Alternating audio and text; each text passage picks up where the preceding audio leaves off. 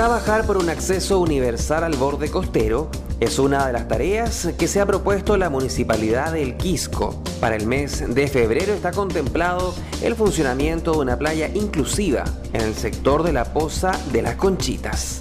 Lo anterior busca entregar un momento de felicidad a las personas en situación de discapacidad, con movilidad reducida y adultos mayores, quienes desde ahora tendrán la posibilidad de disfrutar del agua salada en confortables sillas anfibias manejadas por dos asistentes.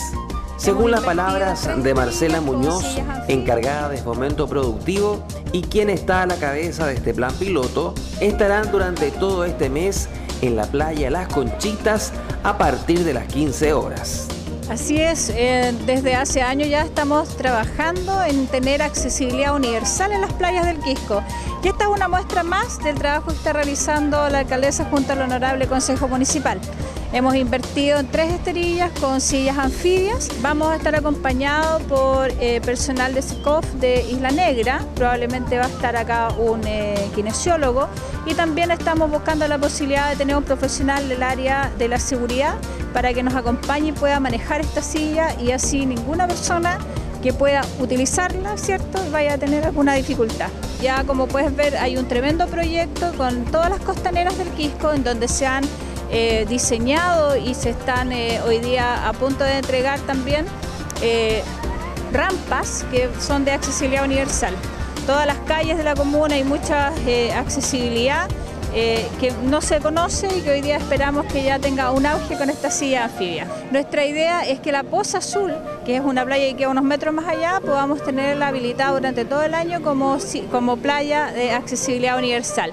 Y por otra parte, también mejorar la accesibilidad de todas las playas con rampas y pasillos de madera para que el público pueda acceder. No solamente las personas que sufren o están en situación de discapacidad, sino que adultos mayores, personas que están con mamás con sus coches, etc. Exactamente, personas con muletas. La idea es que sea accesible a universal. Las dos sillas anfibias más las alfombras demandaron una inversión por más de 18 millones de pesos, gracias a los fondos aprobados por el Honorable Consejo Municipal.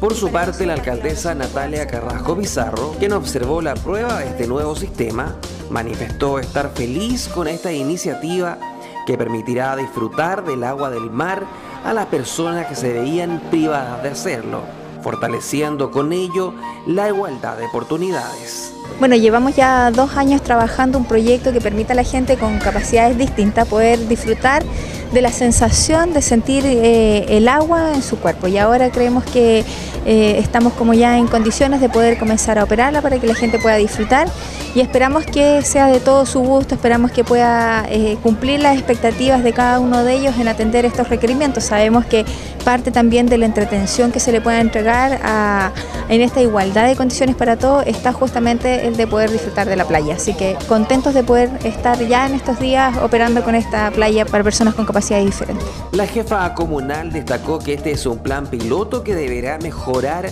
a medida que avance su funcionamiento. Creemos que hay un montón de cosas que tenemos que levantar de observaciones y para eso la colaboración que pueda hacer cada una de las personas que estén eh, disfrutando de esta silla va a ser fundamental.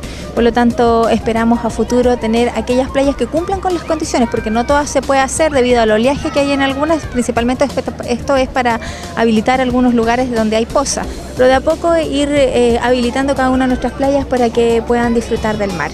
Las personas que se encontraban en la playa manifestaron su alegría y optimismo por esta oportunidad que se les da a quienes no imaginaban poder acceder al mar, agregando que esta es una innovación dentro del servicio que se otorga a la comunidad.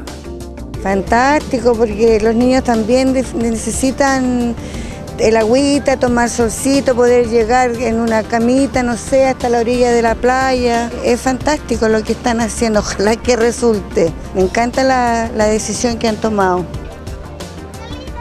Les sirve a, las personas discapacidad y es, un buen, es una innovación ya que, tienen para su, para su enfermedad, digamos. ¿Cómo lo sentiste? ¿Cómodo? No, cómodo, bueno, práctico. Cómoda, ningún riesgo para la persona. Muy cómoda. Muy cómoda, sí. Todo bien. usted también tiene una, una discapacidad en una Sí. pierna. Eh, no me han dado tres accidentes vasculares, Ya, entonces no tengo fuerza en el lado derecho. en su pierna. Sí, y en el otro lado, Generalmente le cuesta mucho entonces ingresar al mar. mucho, demasiado. Sí. Es una solución entonces. De todas maneras, de todas maneras, muy buena idea. Cabe destacar que el municipio trabajará de manera constante en mejorar el acceso al borde costero para personas en situación de discapacidad, movilidad reducida y adultos mayores. Ya en los proyectos de mejoramiento de costaneras se han incorporado rampas para el acceso a las playas. Tras la finalización de este plan piloto, durante todo el año se implementará la playa inclusiva en el sector de la Poza Azul, lugar que hoy está registrando un completo mejoramiento.